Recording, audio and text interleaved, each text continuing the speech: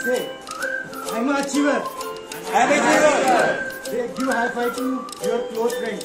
I'm an achiever. I'm an achiever.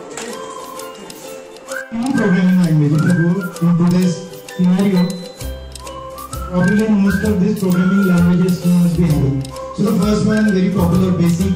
It is there since I was there and the best programming language ever. It is C, C++. Then recently we saw...